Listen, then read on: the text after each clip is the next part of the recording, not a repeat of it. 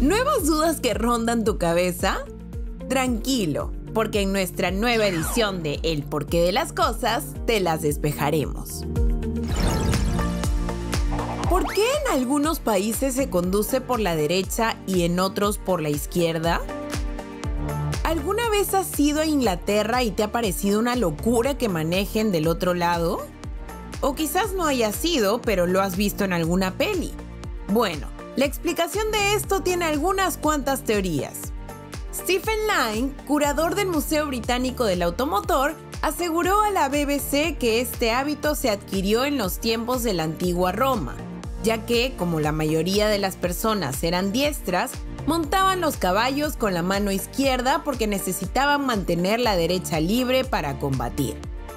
Más tarde, a finales del siglo XV, con el desarrollo del comercio y el transporte agrícola, los primeros carruajes con caballos empezaron a conducirse por la izquierda, ya que los cocheros utilizaban el látigo con la mano derecha, mientras tenían el control de las riendas con la izquierda. Sin embargo, con la Revolución Francesa, Napoleón impuso conducir por la derecha en casi la totalidad de los países influenciados o conquistados por Francia. Pero, como hemos visto, Reino Unido nunca llegó a adoptar esta medida de circulación. De hecho, el gobierno de este país, en el año 1835, estableció por ley que tanto en el país como en sus colonias se condujera por el lado izquierdo en el Acta de Vías Británicas.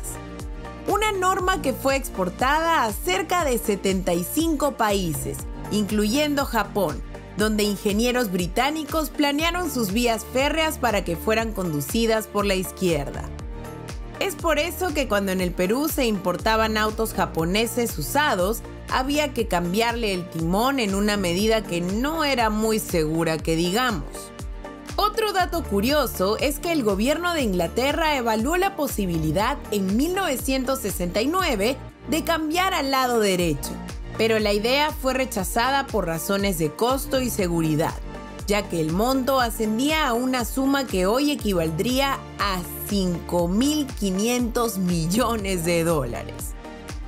Así que terminaron por decir, "Mm, mejor ahora no, joven. ¿Por qué las estrellas tintinean? Observar el cielo inundado de estrellas brillantes es probablemente uno de los placeres favoritos de las noches despejadas, aunque quienes vivimos en Lima tengamos que salir de la ciudad para verlas. Sin embargo, no son necesarias muchas estrellas para darnos cuenta que su brillo no es constante, sino que parece tintinear. Bueno, resulta que nuestra atmósfera está compuesta por la acumulación de gases y partículas en suspensión, que se encuentran a diferentes temperaturas, concentraciones y presiones.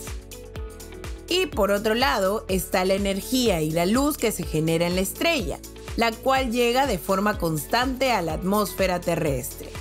Ahora bien, cuando las partículas que forman la luz, es decir, los fotones, entran a la capa de gas, pueden chocar con las partículas que hay dispersas, alterando por completo la dirección que llevan. Además, los cambios en las magnitudes de presión y temperatura también les afectan, desviándolos de la linealidad. Estos dos efectos provocan que los fotones desviados no lleguen a los ojos de los observadores, dando lugar a pequeños periodos donde la luz desaparece.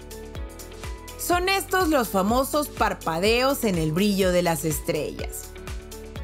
Entonces, para resumir, lo cierto es que esto se trata solo de una ilusión óptica, lo que quiere decir que las estrellas no tintinean realmente, sino que tienen un brillo constante.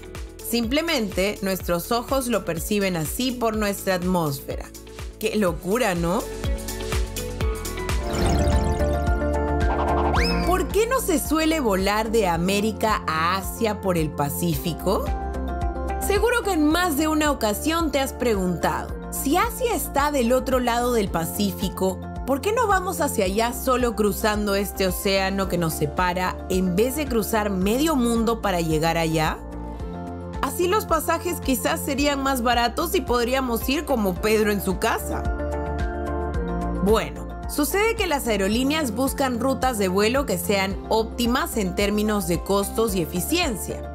Y si bien una ruta recta sobre el Pacífico puede parecer el camino más corto en un mapa plano, en realidad, como la Tierra es una esfera, la distancia de América a Asia por medio del Pacífico no es realmente tan corta y por ende tampoco barata. Pero el motivo principal es que al tratarse de un océano tan grande, simplemente no hay pistas de aterrizaje cerca, lo cual es esencial para algún aterrizaje seguro en caso se presente alguna emergencia técnica o médica.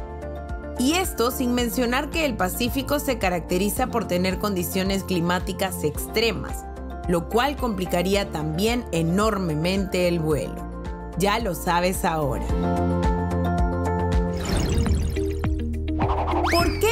Comer algo salado nos provoca algo dulce? Seguro te ha pasado que después de comer algo salado sientes la necesidad de un postrecito lo cual se debe a un fenómeno llamado saciedad sensorial específica.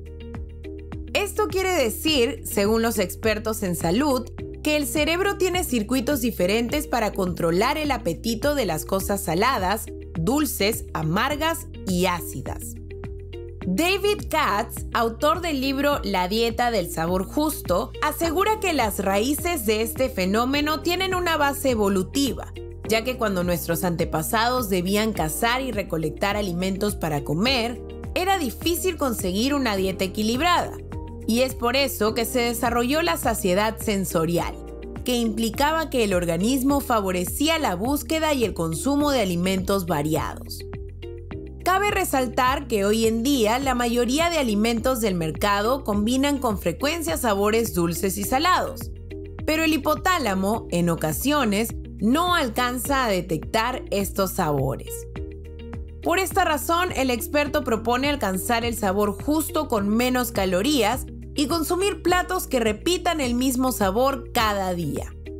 Por ejemplo, si tomas jugo de piña en la mañana, puedes probar con un pollo en salsa de piña para el almuerzo y para la cena un trozo de piña con yogur.